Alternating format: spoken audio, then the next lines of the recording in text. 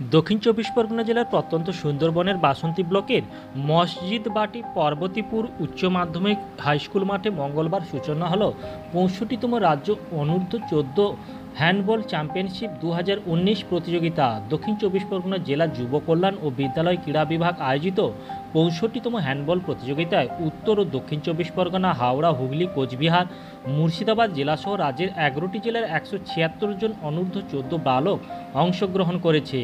এদিন এই হ্যান্ডবল প্রতিযোগিতার সূচনা অনুষ্ঠানে উপস্থিত ছিলেন দক্ষিণ চব্বিশ পরগনা জেলা বিদ্যালয়ের ক্রীড়া বিভাগের সাধারণ সম্পাদক শুভেন্দু ঘোষ, বাসন্তী পঞ্চায়েত সমিতির সভাপতি Kamal Uddin Laskar, world vision Indian manager হেগুইন কাংসাই অভিনেতা বিশ্বজিৎ চক্রবর্তী, স্থানীয় মসজিদবাটি গ্রাম পঞ্চায়েতের উপপ্রধান গৌর সর্দার সহ বিশিষ্টরা। এই প্রতিযোগিতা চলবে আগামী সতেরোই অক্টোবর পর্যন্ত।